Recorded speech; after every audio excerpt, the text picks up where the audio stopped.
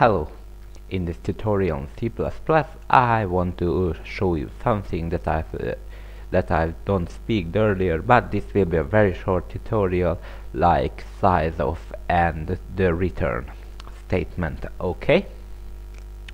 Write out the size of int like that.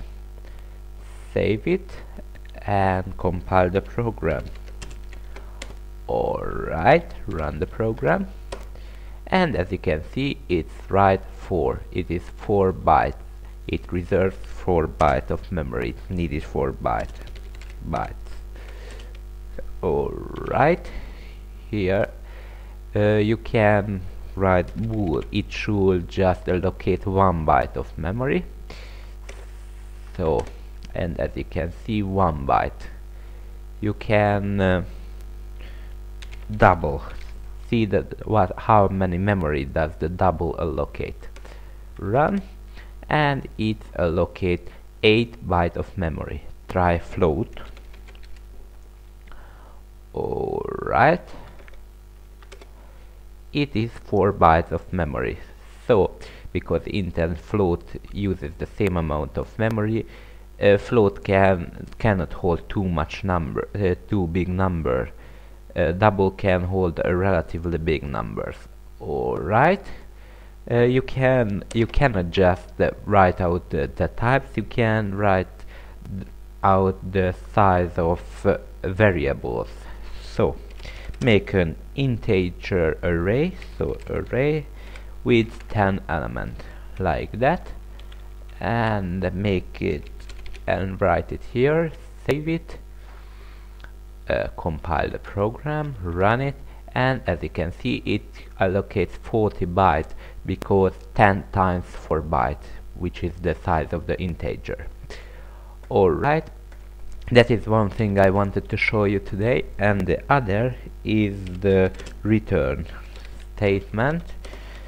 So every time uh, for today, so before today, we put the ret return at the very the, so the very end of the function. Like in case of main we put here the return but actually can put it anywhere. It is just a normal statement. So if give a value to it uh, in the t t t is bigger than I don't know 5 then return 0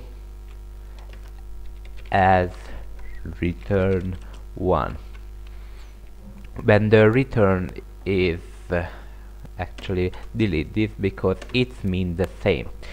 When the return is called so when the return statement is in here it will return with some value. In this case it is 0 and the and it will not continue to run the uh, function so it will never reach that return 1 statement if it is returned with 0 if t is uh, less than 5 then it will return with 1 so it will not return with 0 it will return with 1 uh, if we put another return here for example return 2 it will never be reached by the program because return 0 or return uh, return 0 or return 1 will uh, happen uh, not matter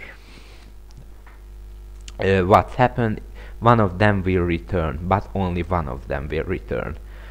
So we can use the so we can use the return anywhere, just the program after it, if its return happen, will not continue. So if I write something here,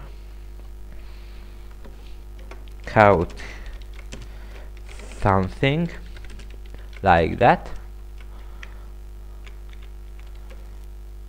and call that function. So read and call it with uh, 7 alright let's see what's gonna happen. Or by the way you should already know that. As you can see it doesn't write out the something text because uh, 7 is greater than 5 so it will return with 0 the other part of the function will uh, not run. Okay but if we call it with uh, 3 it will write out the something and return with 1 so as you can see it writes out something and return 1 we don't see that uh, which uh, so what does it return if we don't write out but uh, never mind.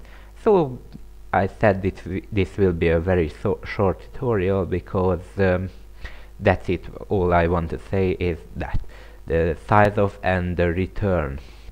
Alright thanks for watching and have a great day